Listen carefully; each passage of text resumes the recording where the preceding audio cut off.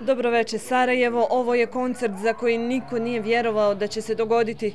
Ovim riječima je 14. decembra 1994. godine počeo najblaže rečeno spektakularni koncert Brusa Dickinsona u opkoljenom Sarajevu. 25 godina nakon Dickinson je ponovo u Sarajevu ovaj put kako bi primio nagradu počasnog građanina.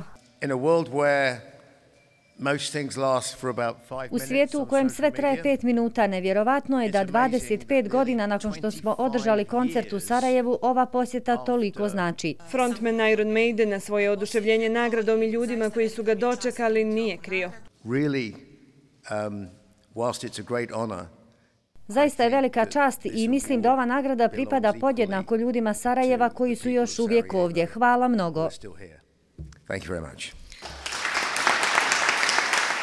Priznanje je Dickinsonu uručio gradonačelnik Abdullah Skaka, gradsko vijeće grada Sarajeva počasnim građaninom jednoglasno ga je proglasilo još prošle godine. Ipak je trebalo mnogo više hrabrosti i ljudskosti da se 1994. u opkoljeno i razoreno Sarajevo pojavi ovakav čovjek i da dadne svoj doprinos i kaže odlučno ne da se zaustavi najgori rat u Evropi poslije drugog svjetskog rata. Podsjetimo, tada bivši pjevač Iron Maidena Bruce Dickinson je s pratećim bendom Skunkworks održao koncert u Sarajevu, koje je bilo opkoljeno već hiljadu dana. Na grad je s položaja Vojske Republike Srpske padalo na stotine granata dnevno.